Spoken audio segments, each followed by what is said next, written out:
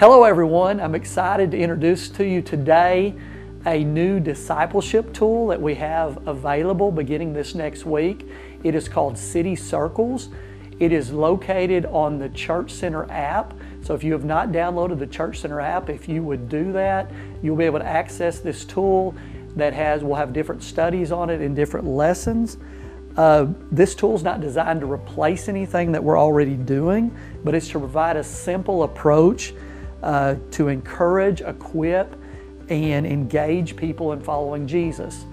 Now, the reason we set this uh, tool up the way we have on the app is we wanted to create something, first of all, that was sound biblically and theologically. So, for the past couple of years, the elder team spent several months on really considering theology, doctrine, our lifestyles, the way we live. And so we wanted something that was sound biblically and theologically, and with the work we've done there, this will allow us to create something that fits into that.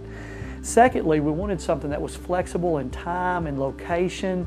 Uh, we wanted people to be able to start at any time they wanted middle of the fall, end of the fall, start of winter, springtime. So we wanted to have something available that had some flexibility with time, and we also wanted to have something that was flexible in location. So we wanted to create something that a group of people could do at lunchtime at work.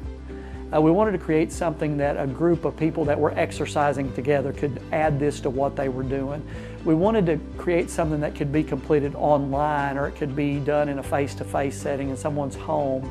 We wanted to create something that families could do uh, with in, inside their home. So we wanted something that was flexible for time and location.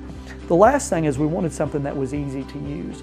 We wanted to create something that would help with this equipping and encouraging and engaging people that was simple to use. So what we've done is we've created something that is in the Church Center app. If you go to the bottom right-hand side of the Church Center app, there'll be two little hands you'll see there that says City Circles on it. If you'll click that that says City Circles, what it will do is it will open up and you'll see this giant circle that almost fills your entire phone screen. And it says City Circles with our logo on it. It says click here to enter. Once you click that, you're into the study. You're, you're on a page now that shows you the different studies we'll have available. Uh, when you click on a study, lessons will pop up. There's instructions for how to do it. So once you're into it, it's pretty simple. And next week, we're going to introduce this to the whole congregation. So we want to give you a heads up so you can get in there, play around with the app a little bit, understand how it works, and so that you can be ready to invite others to join us in this process of city circles and learning and growing as followers of Jesus.